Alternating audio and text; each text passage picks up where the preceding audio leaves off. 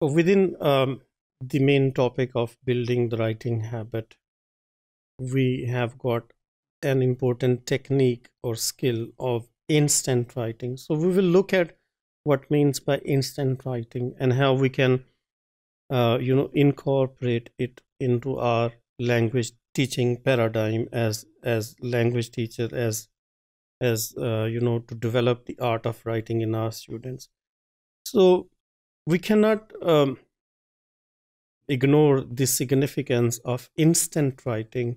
Instant writing means uh, writing on the spot, like uh, this kind of writing, maybe like, for instance, uh, you can um, give a task to a student to, to, to your students on on the spot without any preparation without any background information so this can be incorporated in some at various stages of our lessons.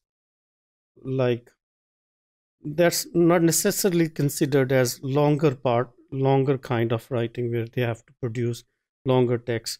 Rather, they can produce texts of like um, tasks may take five minutes or less than that, or five to seven minutes, like how to ask a stranger about directions, how to order food, uh, how to book ticket. So these are the tasks which may be introduced in the classroom or tasks can be uh, to describe uh, their favorite poet or describe or discuss or uh, their uh, you know recent holiday so these kind of instant writing activities actually uh, play an important role in developing confidence and enthusiasm in our students.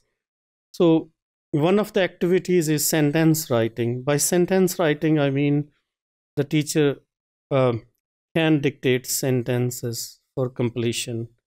Uh, for example, the teacher can dictate two or three sentences about a certain topic and for example, the students can be asked to write something about weather forecast, or they can be asked to write about the climate change or how they feel about the weather uh, over the weekend or what they are planning next month or next year, right? So there, there can be several tasks.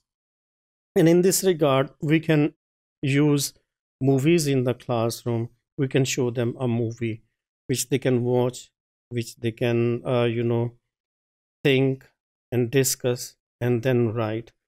So, uh, of course, we'll have to make important decisions when we are choosing movies.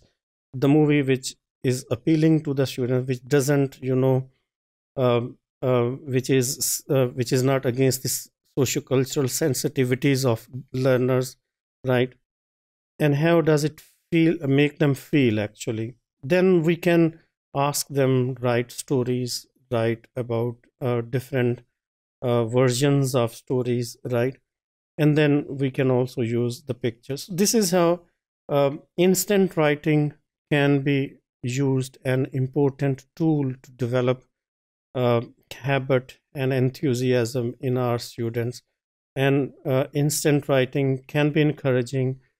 And in this regard it's important to give tasks which are of interest to the students which are appealing to them and which encourages them and which make them uh, feel about their own writing